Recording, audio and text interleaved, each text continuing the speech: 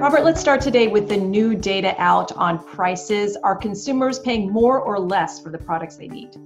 Well, Susan, that, the, the answer to that is yes. Uh, some products are coming down in price and some products are, are going up. And we're seeing this tremendous churn now with almost all economic data, but certainly that is spotlit by uh, the price data, both the consumer price index and the producer price index for May.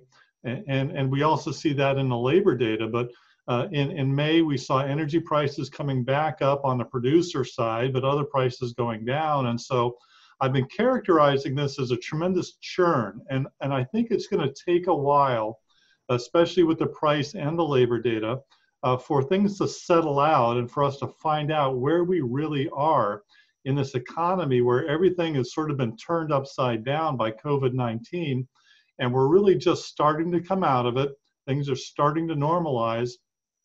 But as you know, the data stream lags a week, a month, a quarter.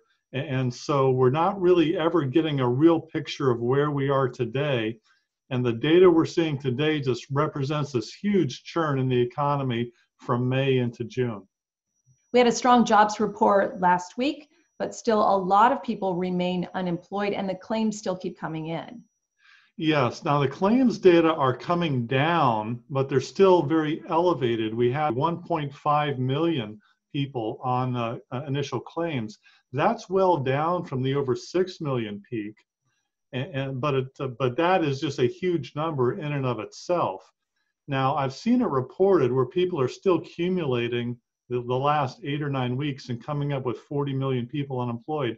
That is not accurate. I've seen that reported in, in a number of, of Uh, of well-known financial publications, many of those people have now gone back to work. So that cumulative number over the last eight or nine weeks of 40 million is informative, but it doesn't really tell a complete story of the labor market because we know people are coming back to work in June and more will come back in July.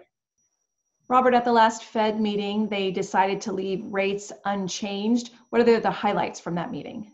Yes, that was no surprise at all, Susan. We were uh, widely expected the Fed would stand pat and take an attitude of watchful waiting. Uh, because of all this churn, all the stuff that the Fed has rolled out in terms of new programs, they're going to take a pause here and they're going to see what works and what doesn't work and what they need to do in the future.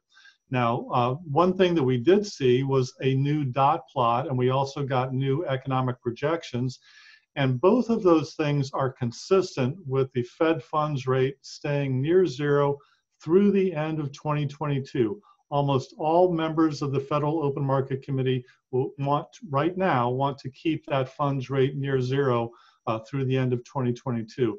The other important thing that came out of the Fed meeting was uh, Chair Jay Powell discussing what the Fed may be doing in the future. Two things they're going to start thinking about forward guidance, the language that they use to tell us where they're going in the future, how they're going to get there. So I expect to see some tweaks for that coming up.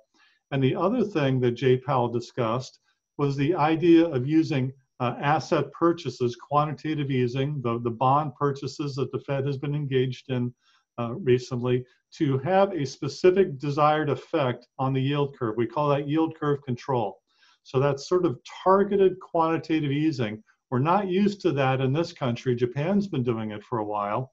And I expect the, I do expect the Fed to move in that direction. So perhaps we get some more information uh, about that at the next Fed meeting, which will be at the end of July.